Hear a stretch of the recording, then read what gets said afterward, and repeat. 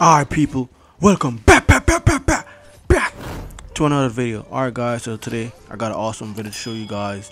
So this weapon is a very OP weapon. So with this weapon, it's called the Jade Dragon, right? So you get this weapon from Sarah from the Monarch Studio, right?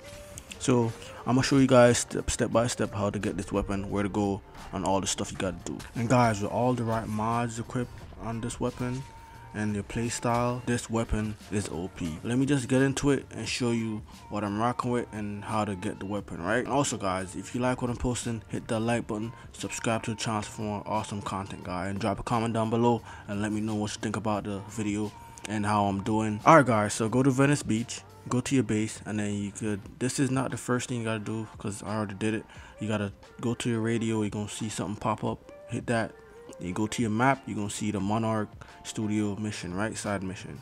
When you go there, right, you gotta try and speak to Sarah. But before you get to Sarah, you gotta kill these guys right here. You gotta make sure you take them out.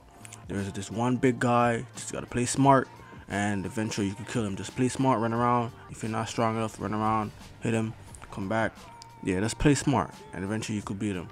But this mission is not hard but it's not easy at the same time. But as long as you play smart, you could beat him and then get through it. So when you get to, her now, you speak to her, she's gonna give you a mission. Alright, so now she's gonna tell you to bring this bag to another guy, right? When you get to the guy, he's gonna ask you to clear out the place. So you gotta clear out the zombies, make sure you kill all of them, and then after that, you can put the bag on the table. After you do all that, the mission is gonna complete, right? Then you gotta go back to Sarah. She's in a different tent this time. It's not the same one she was standing on. It's a different one. Just follow the video and you should see where she at. So now when you go to her, she's gonna give you a new mission, Terror of Sound Stage 7. That's the name of the mission as you can see in the video. When you go there, it's gonna ask you to clear out some zombies, right? You just gotta clear the area. And the best way to help clear the area, the fastest way, group them up and then use your lightning and some water and you can clear them faster like that. That's the, the, the best way I could see fit to do it as fast as possible. Then you gotta do some investigation, right? You gotta search three bodies.